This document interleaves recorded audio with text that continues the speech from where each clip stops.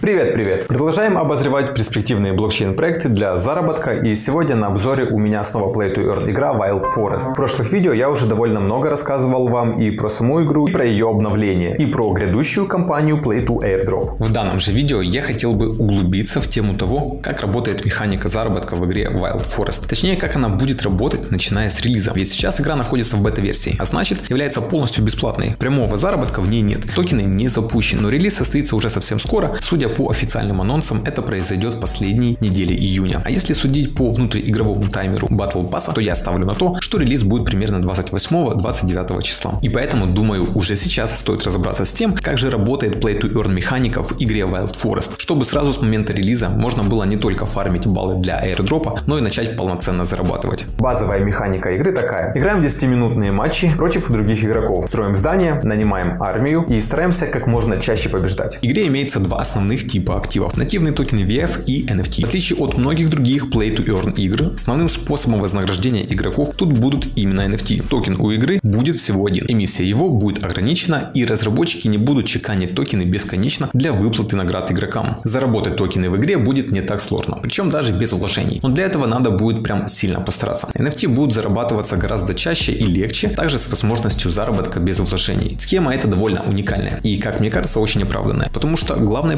проблемой почти всех Play to Earn игр является инфляция, а точнее даже гиперинфляция. Проект бесконечно чеканит токены, чтобы награждать игроков. Игроки сливают токены в стакан и постоянно продавливают цену. Мне кажется, именно такой губительной петли и хотят избежать разработчики Wild Forest. Теперь о том, как именно происходит заработок и за что нам будут давать награды. Непосредственно за каждый сыгранный матч никаких наград нет. Награды в игре получаются тремя путями. За рейтинг в Trophy Road, за уровни Battle Pass и за высшие места в таблице лидеров. Trophy Road – это основная шкала прогресса игроков. Она увеличивается за счет рейтинга, который вы получаете за победу, но при этом поражения уменьшают ваш прогресс, но не сильно. В целом, одна победа дает рейтинга больше в 2-3 раза больше, чем отнимает одно поражение. За прогресс по уровням Trophy Road вам выдаются сундуки с наградами, которые могут содержать NFT различных уровней редкости. Это первый способ получения наград в игре. Далее идет Battle Pass. Это еще одна прогрессивная шкала, которая увеличивается за выполнение заданий. Задания могут быть самыми разными, но они все так или иначе связаны с игровым процессом. Построить столько-то заданий, нанять столько-то юнитов, нанести столько-то урона. За каждый уровень Battle Pass вам также выдаются сундуки, которые могут содержать награды. Размер наград зависит от типа Battle Pass. Он может быть бесплатным и премиум. В среднем за премиум Battle Pass выдается в три раза больше наград, чем за бесплатный. Покупаются премиум Battle Pass за токены VF раз в месяц. И только игрокам с активным премиум Battle Pass могут выпасть награды помимо NFT еще и токены VF. За бесплатный же Battle Pass можно получить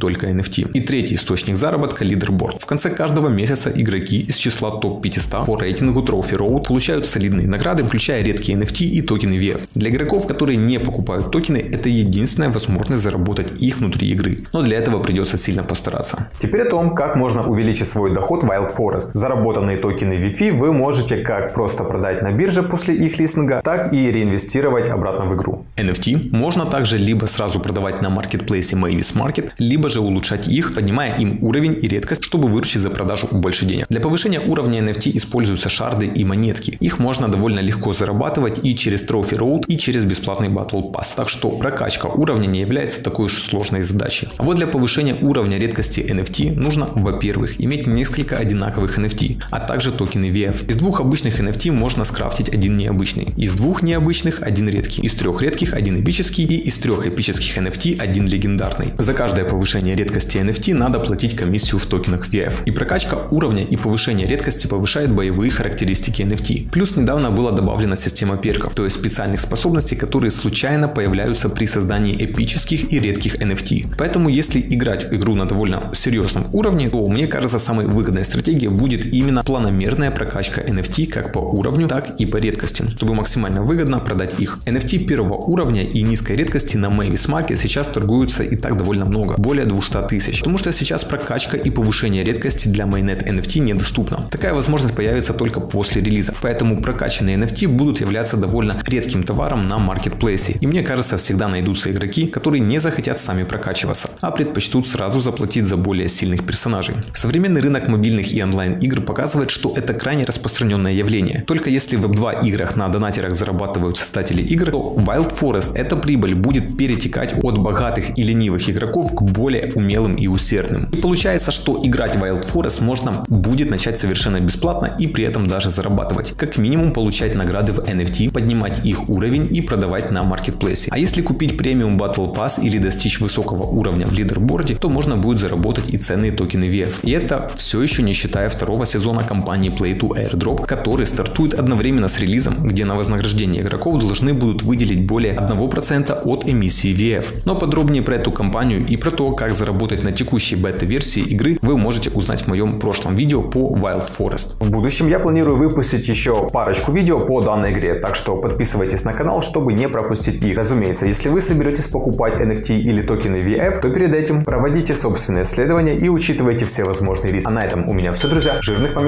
вовремя фиксируйте свой профит и до новых встреч. Пока-пока.